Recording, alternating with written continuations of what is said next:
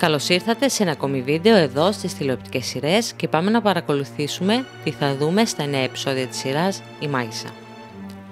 Δυσαρέσκεια και απογοήτευση έχει προκαλέσει τους Λασκαρέους η συμπεριφορά του Μάρκου από τότε που ανέλαβε την αρχηγία της οικογένειας. Η υπεροπτική συμπεριφορά που έχει και οι κακές αποφάσεις που παίρνει αφήνει συνεχώς εκτεθειμένη την οικογένεια των ισχυρών καπεταναίων της Μάνης με αποτέλεσμα να προκαλεί αντιδράσεις και εν συνεχεία την αποπομπή του από τη θέση του αρχηγού. Ο επόμενος διάδοχος είναι ο Τζανής και έτσι το όνειρο του ίδιου αλλά και της μητέρας του Δαμιανή γίνεται πραγματικότητα.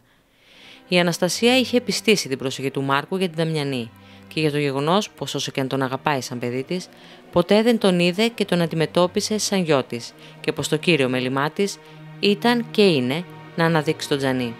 Όπως άλλωστε κάθε μάνα θα έκανε για το παιδί της.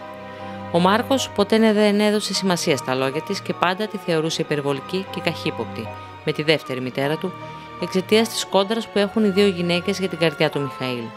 Παράλληλα, ο Μάρκος, τυφλωμένος από την αγάπη του για τη Θεοφανό, κάνει το ένα λάθος μετά το άλλο, που εκθέτουν τους Λασκαρέους, όπως φυσικά και οι λάθος αποφάσεις που παίρνει ως καπετάνιος της φαμίλιας. Η δυσαρέσκεια είναι εμφανή σε όλους.